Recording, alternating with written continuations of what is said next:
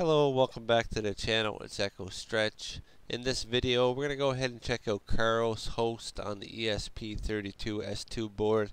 Um, he did go ahead and update it with the latest GoldHEN, which is version 2.1.1. He also fixed the cache issue. If you were having problems caching the trainer page, well, that is fixed now. So we're going to go ahead and just jump right into it and uh, see how well it works here. So we'll go over to our settings. You can see that I don't have the GoldHEN options and I don't have debug settings. Now we'll go up to our network and we'll go ahead and make sure that we do have connect to the internet checked and then we'll go ahead and click on set up internet connection. We use Wi-Fi and go to easy. Now I already have my board uh, flashed with the latest file so I will leave a link in the description. You can go ahead and grab that file and just go ahead and flash your board with it. But once it does come up with your Wi-Fi connections, we'll go ahead and select Karo. And then we'll type in the password. Now it's just the same as always, 1 to 8. So we'll go ahead and put that in. And then we'll go ahead and hit done and then OK. Give it a few moments here just to finalize the connection and then we'll wait for it to check network environment.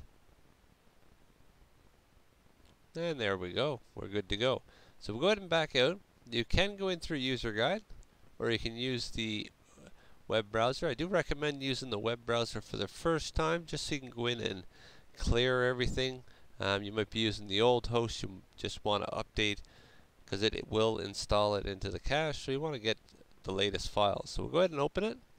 Do the usual close the first window, go ahead and delete all, and go into our browser history, clear that as well, and then we'll go into our settings and delete cookies and clear website data.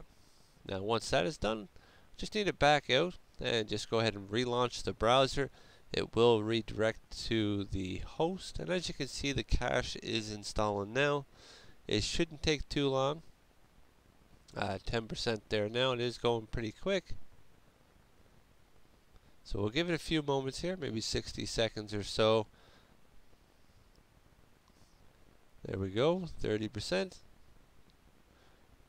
There is quite a few trainers in there, and it's a lot of images, so it can take a little bit of time. I find these little modules, or these little boards, whichever you want to call it, they're not really the greatest for transferring data. Um, you're not going to get any high speeds off them, but they do serve their purpose and they work very well. So there's almost 80% there now.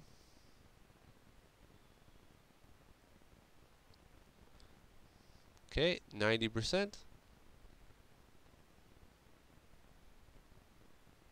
And there we go, 100%. So we can go ahead and just hit our PlayStation button just to close out the browser and we'll go ahead and relaunch it. Okay, and as you can see the trainer page does come up. Everything loads in fine. If we go ahead and check the top here, you can see the latest update, which is 502.2022.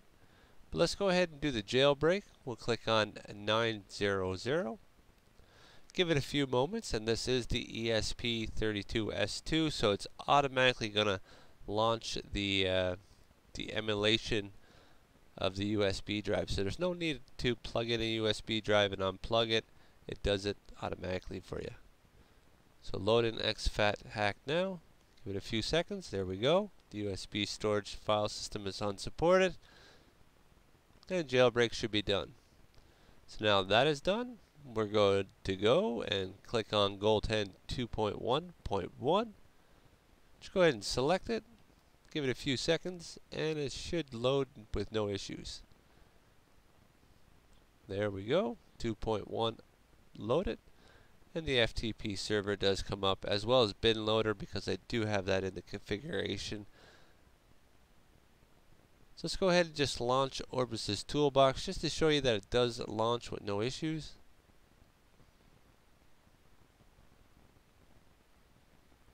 Okay, and Orbis's toolbox loaded. There we go. So we can go ahead and hit the PlayStation button. and you can see Orbis's toolbox load with no issues at all. The cache loaded, everything is fixed guys. Um, if you do have a ESP32S2 board, I'm pretty sure, in my opinion, that's probably the best board right now to have. Um, I know that you can do a lot with the the other boards. You can solder up uh, the auto mount for the USB, but these here boards here, they don't require anything to just plug in and play. Um, yeah. But yeah, I'm going to leave the video at that, guys. I just want to jump on and uh, show you that uh, that it works okay and the cache has been fixed. I know a lot of people have been asking about the cache, um, but now it's fixed, so you can go ahead and try it out for yourself. Let me know in the comments below. Uh, if you're wondering what was uh, fixed with the new GoldHEN, just uh, fixed multiple injections. Um, other than that there, no, that's about it guys. So I hope you did enjoy the video. If you did, go ahead and hit that like button. It really helps out the channel. The more likes we get, the more it's viewed on YouTube. That's the way it works. And uh, if you're not subscribed already, go ahead and hit that subscribe button. Really helps out the channel. And I will see you guys in the next video. Thanks for watching.